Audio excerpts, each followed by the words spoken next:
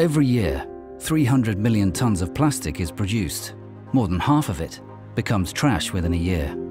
8.3 billion tons has been produced to date, enough to cover the whole of Argentina, the eighth largest country in the world, with a 10-inch deep layer. 6.3 billion tons have already become trash, of which 79% have ended up in landfill or in nature. Every minute, every day, 15 tons are washed into the oceans, killing more than 100 million marine mammals every year. The largest floating plastic site in the world is twice the size of Texas. Plastic rocks are forming in Hawaii, and microplastic have entered our food system. And it's expected to get worse.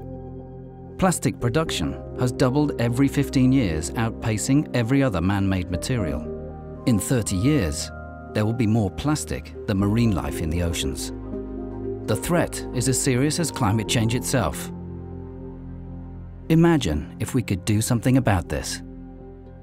Using a patented and proven technology to make plastic waste valuable again. So valuable that no one will ever throw it away a technology that converts harmful plastics into clean and valuable synthetic fuels in a financially sustainable way, preventing oil exploration and transport, creating thousands of jobs, cleaning up nature, and encouraging collecting and recycling all around the world.